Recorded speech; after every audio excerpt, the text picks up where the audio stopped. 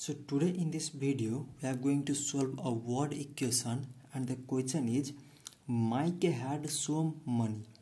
When he spent Rs 150 he had Rs 125 left. How much money did he have at the beginning? So here is two cases.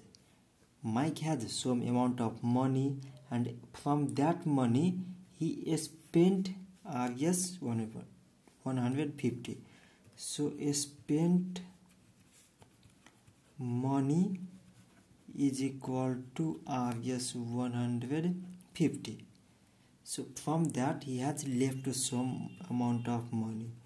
So left money is equal to Rs 125 and we have to find out how much money did he have at the beginning?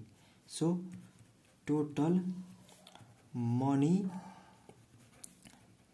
at the beginning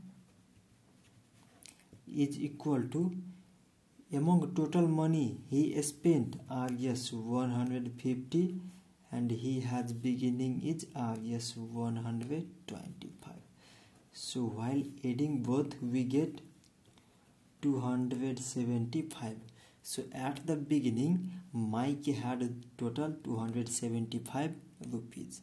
So thank you this much for today. And if you have any problem regarding math then just comment your question in a comment below and we shall provide a video solution of your question.